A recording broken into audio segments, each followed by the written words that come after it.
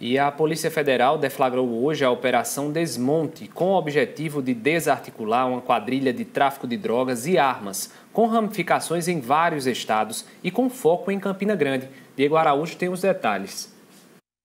Durante a operação que foi deflagrada nesta quinta-feira, foram cumpridos 22 mandados de busca e apreensão, nove mandados de prisão preventiva e oito de prisão temporária aqui no estado da Paraíba, mas também em Pernambuco, no Piauí, no Paraná e em São Paulo.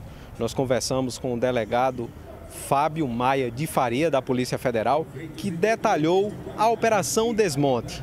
Vamos acompanhar. Essa operação, na verdade, é o desdobramento de um trabalho anterior que a gente fez em 2021.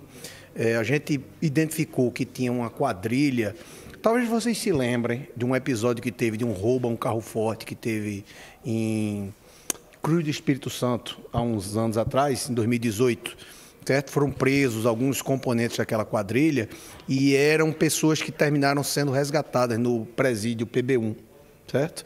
A partir dali, a Polícia Federal, a nossa delegacia, que é a Delegacia de Repressão a Crimes Patrimoniais e Tráfico de Armas, a gente ficou no encalço de alguns daqueles presos é, temos o orgulho de dizer que colaboramos com a, a recaptura de vários deles.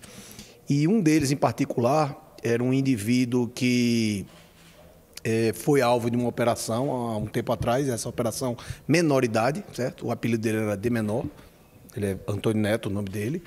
Esse indivíduo ele foi preso na ocasião lá no estado de São Paulo e esse, esse indivíduo ele era o, o ponto focal de, uma, de um grupo, de uma quadrilha que ele faziam assaltos a bancos, mas é, em razão daquele episódio em particular, a informação que a gente teve é que ele ficou com medo, porque ele corria o risco de morrer, e aí eles acharam que era mais vantajoso para eles fazer o tráfico de drogas.